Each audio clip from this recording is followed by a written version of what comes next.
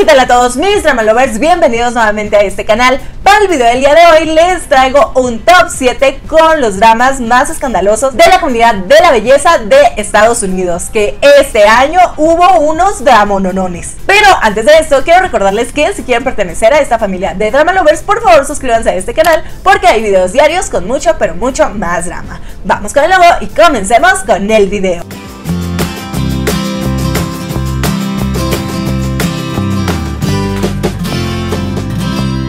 Bueno, pues les cuento los 7 dramas más escandalosos del 2019 de la comunidad de la belleza en Estados Unidos. Y estos dramas los voy a ir mencionando en función de cómo fueron pasando y en qué mes más o menos.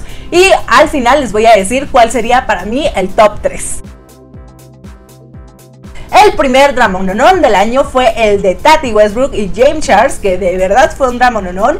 Y esto porque James Charles, pues básicamente traicionó a su mejor amiga, que era hasta ese momento Tati Westbrook, por unos pases de artista y seguridad en Coachella. Y estos pases de artista y seguridad se los dio la empresa Sugar Beer, quien es la competencia directa de la marca Halo Beauty, que son vitaminas para el cabello y para las uñas que también tiene Tati. Entonces Tati se sintió súper traicionada por lo que le hizo su amigo y lo expuso. Y fue un dramononón, de hecho, de los primeros del año, porque por dos semanas todos los días salía información nueva que la verdad es que no me daba abasto para grabar tanto derivado del drama de Tati y James Charles, bueno, pues Jeffree Star corta relaciones con Sister Apparel, que es la marca de merch de James Charles.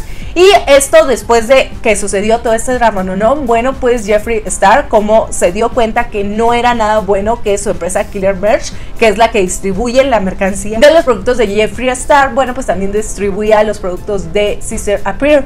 Pero en ese momento Jeffree Star se dio cuenta que no era nada bueno estar ligado a James Charles y cortó relaciones de manera inmediata y fulminante.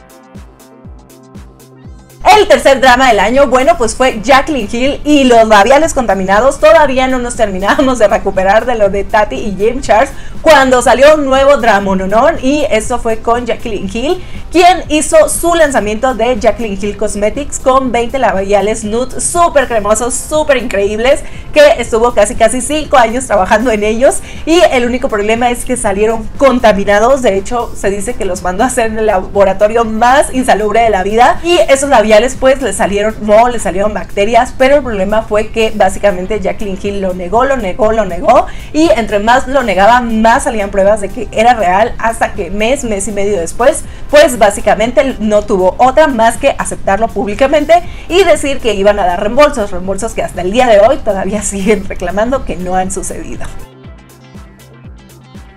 Otro de los dramas de este año, bueno, pues fue Anastasia y sus mil lanzamientos y eso a propósito de que Anastasia pues básicamente le dejó la presidencia de la empresa a su hija Norvina y Norvina hizo una estrategia como tipo lo que hace Color Pop y lo que hace Kylie Jenner de hacer lanzamientos muy seguidos, pero la gente se la acabó viva porque pues para el mes de junio-julio hizo un lanzamiento de la paleta Lisa Edwards que fue una paleta súper colorida y después sacaron una colaboración con Jake Ann y después de esto sacaron tres paletas de Norvina, volumen 1, volumen 2 y volumen 3, pero en el mismo mes y en ese mismo mes anunciaron la paleta con Cardi Bible que fueron casi casi cinco lanzamientos en dos o tres meses y la verdad es que se la estaban comiendo viva.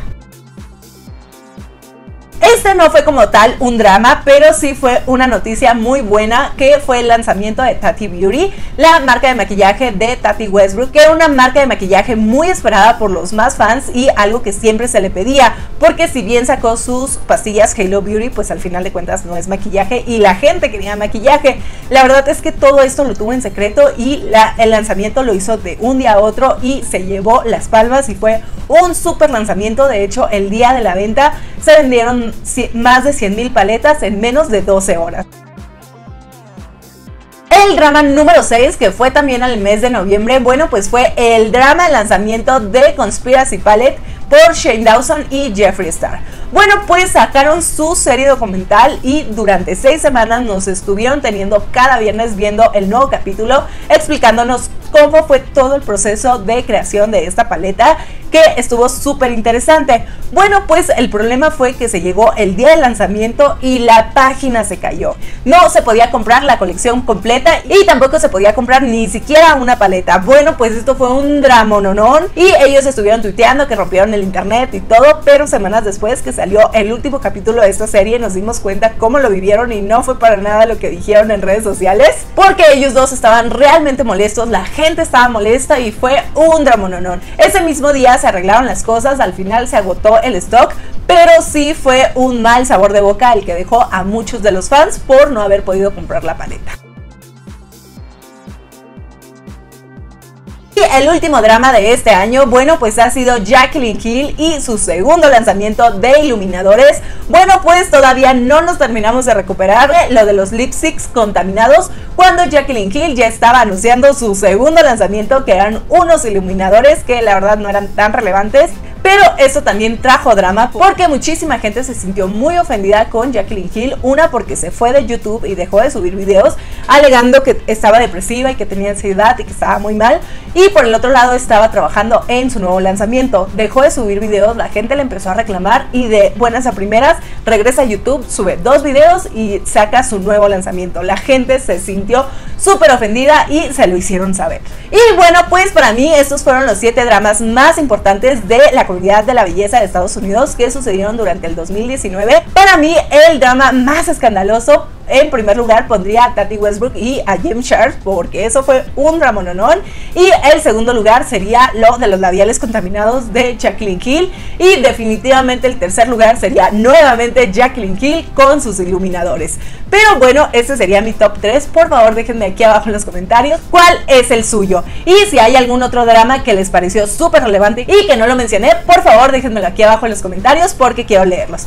Bueno, pues esto fue todo por este video. Espero que les haya gustado muchísimo y recuerden que si quieren pertenecer a esta familia de Drama Lovers, por favor suscríbanse a este canal porque hay videos diarios con mucho, pero mucho más drama.